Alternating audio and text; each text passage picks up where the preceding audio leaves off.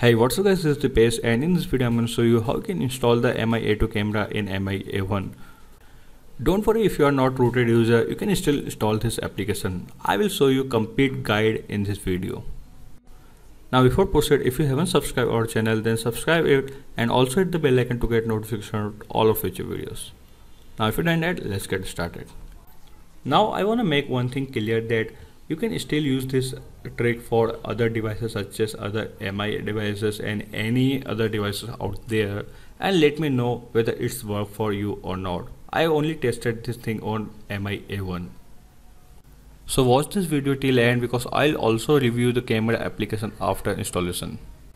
Now for this trick I am using Pixel Experience ROM in my device and here you can see that except Google camera there is no other camera application installed on my mobile. Now if you already had MI-A1 stock camera then first you have to uninstall it. Now if you are in stock ROM then somehow you have to uninstall the stock camera then you can follow the same guide. For that you can watch any videos or tutorial on internet and once you done with that you can follow the same guide. Now for this video I'm gonna use the Magisk Manager to install some modules and if you don't want to root your device with Magisk Manager, you can just boot your device into TWRP recovery and flash this module with TWRP recovery.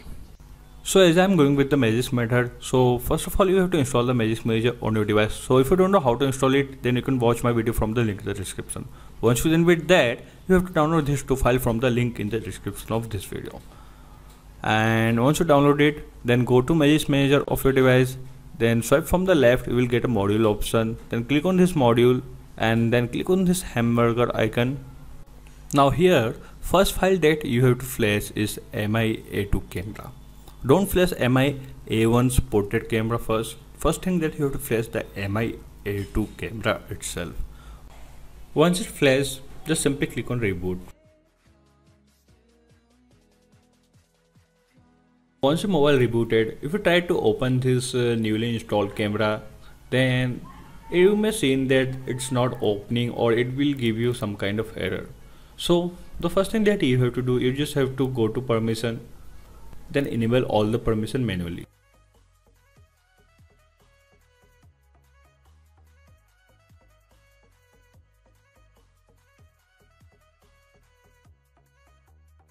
So once you're done with that if you try to open again this camera it will open but here there is no AI mode available or no portrait option is available.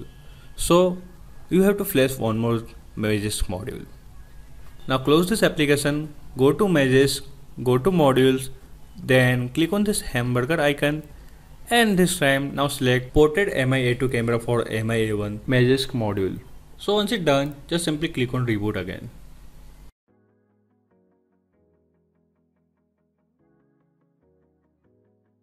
Now once the device is restarted, open this camera again and here you will get a AI camera and you will also get the portrait mode in it. But sadly portrait mode is not working with the front camera but seems to be working with the rear camera. Now here at the bottom you will have the portrait mode option and some other option also. I'm gonna review everything so watch this video continue. Now here let me show you some sample shot capture with this portrait mode. Now this shot is captured with the rear camera not with the front camera and the portrait mode is working fine with the back camera of your device but not seems to be working fine with the front camera. But in your case if this portrait option is still not working or not giving you a portrait shot then you might have to enable the Camera2 API. For that go to Magisk, go to download and search for Camera2 API enabler and just install this module and reboot your device and that's it. You can do the same thing just by adding two lines of command from the TWRP recovery. The guide is very simple. I'll add the code in the description. You just have to boot your device in TWRP recovery and just open ADB shell and just paste this command. And it will open the Camera2 API. Now, once you're done with that, you can open your camera again and you can see the portrait mode should work. Everything is working fine with this camera application except front portrait mode. So I hope a great developer will come across it and mod this camera for uh, Mi A1 and make the front portrait work. And everything is working fine as I say. Here you can capture with the front photo and here you have some filter shot in it you can also record video in 4k there is option available in it you can also have control over the beautify value and some other advanced option also in it. And if you talk about the video recording you can record in 4k and there is also option that is short video. So you can record a short video also with this camera application which may be up to 10 to 12 second.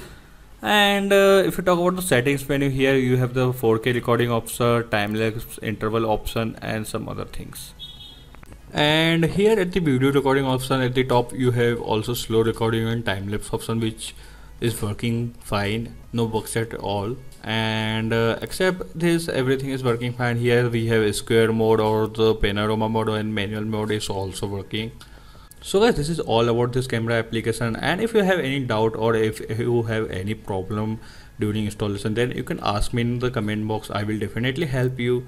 And here are some sample shots that you can see that is captured with the rear camera without AI and with AI and the next one is a front camera shot without AI which is also not having a portrait mode in uh, the portrait mode actually not working in front camera. And here the rear camera shot with the portrait mode and portrait mode is working fine. And this all the shot taken in indoor lighting condition. And this video is definitely deserve like from you because this video is first kind of video about this trick on youtube so if you like it it will motivate me to keep making videos like this. And don't forget to subscribe hit the bell icon to get notification on all my future videos. And if you haven't followed me on my social media then you can follow me on my social account from the link in the description for instant update. And this is Dipesh signing out. Meet you soon in next video